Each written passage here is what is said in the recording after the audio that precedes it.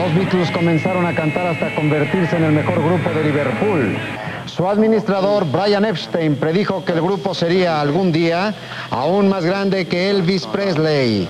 En un año se convirtieron eh, se convirtieron en el grupo número uno de Inglaterra.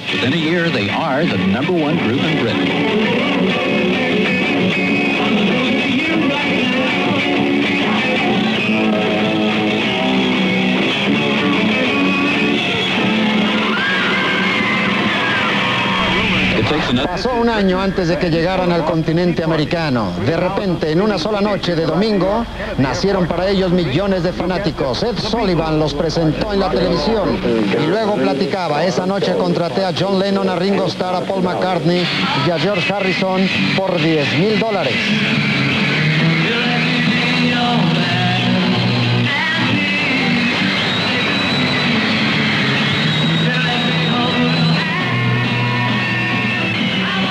La mayor parte de la música ha sido un trabajo de equipo entre Lennon y McCartney.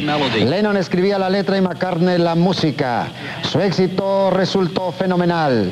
La canción Quiero estrechar tu mano se convierte en el hit número uno de América. Dos meses después, los Beatles tienen cinco discos sencillos en los primeros lugares y así nace la Beatlemanía. Los Beatles son recibidos en todas partes por miles de histéricos fanáticos. Les preguntan qué significa el nombre de Beatles. Bueno, John escogió el nombre y ahora, pues quiere decir, nadie lo sabe. La cosa es como decir zapato. Pudimos habernos llamado los zapatos. John Lennon era conocido como la luz guía de lo que más tarde llegarían a ser. Alan Livingston, presidente de los discos Capitol de aquella época, dijo que eh, pensó, en un principio no nos imaginamos hasta dónde llegarían. Les preguntan cómo encontraron a los Estados Unidos y responden fue como un sueño. Luego dice Livingston, el mes pasado 75 jóvenes de Pensilvania pidieron a la reina Isabel que nombrara a los Beatles caballeros, lo cual no ocurrió. Pero ahora tengo el placer de anunciar que se han convertido en miembros de la más honorable orden del Imperio Británico. Felicitaciones John, George, Paul y Ringo. ¿Qué opinan de esto? Bueno, pues me quedé así de sorprendido. Los Beatles no tenían a todo mundo contento, no les gustaban a todos.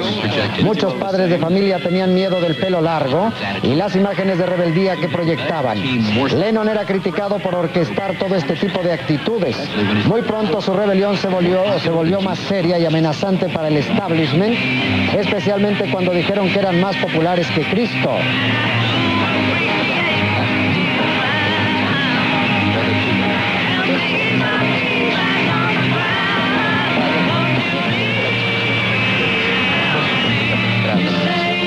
Cuando los Beatles cambiaron el estilo pop, fueron seguidos por la juventud del mundo. Y los discos de los Beatles también afectaban a otros músicos del rock and roll y se notaba su influencia.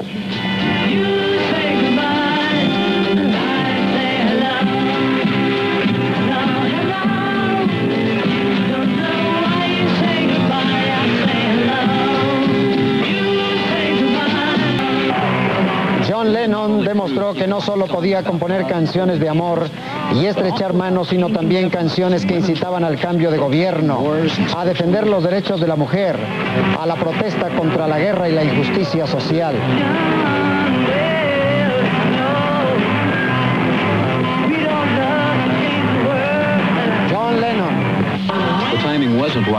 Creo que era uno de los mejores de su tiempo, dicen los expertos, innovador. Escribió canciones que eran diferentes al resto de las canciones comunes. Decía algo que tenía significado social.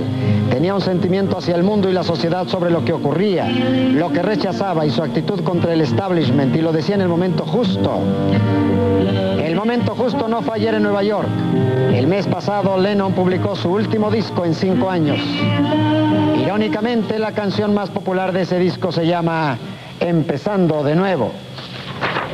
Paul McCartney y Ringo Starr, consternados por el asesinato de su ex compañero John Lennon, viajan esta tarde rumbo a Nueva York para acompañarlo a su funeral. Se ignora dónde se encuentra el cuarto miembro del grupo, George Harrison. Volviendo a Nueva York, los testigos interrogados por 24 horas en Nueva York dijeron a la policía que Lennon fue asesinado a las puertas del edificio Dakota donde vivía. Fue horrible, dice un testigo, una testigo. Vi que el individuo hizo cuatro o cinco disparos y escuché a Yoko pidiendo auxilio, dice una señora que lo vio todo. Él volvía del estudio de grabación. En el edificio Dakota, que está en la calle 72, West, en el oeste, frente al Parque Central. Viven actrices como Lauren Bacall y ahí fue filmada la película El bebé de Rosemary. El hombre acusado de haber asesinado a Lennon tiró la pistola momentos después. Esperó a que llegara la policía. Un detective de la estación de policía dijo que se trataba de Mark Chapman. El jefe de detectives James Sullivan declara, Chapman había estado tratando de localizar a Lennon. Hacía varios días que lo buscaba y se presentó otra vez esta tarde cuando Lennon y su esposa salieron al estudio de grabación. John Lennon le autografió un álbum. Se quedó Chapman ahí toda la tarde esperando a que Lennon regresara. Antes de las 11 de la noche, Lennon y su esposa regresaron al edificio Dakota en una limusina. Se estacionaron en la esquina fuera del edificio. Hay una entrada de autos por la que debieron entrar, pero no lo hicieron así. Salieron del auto y caminaron hacia la entrada donde hay una puerta de cristal. Ese individuo, Chapman, salió y lo siguió. Y al llegar a la entrada se puso en posición de disparo y vació su arma, calibre 38, y mató a John Lennon.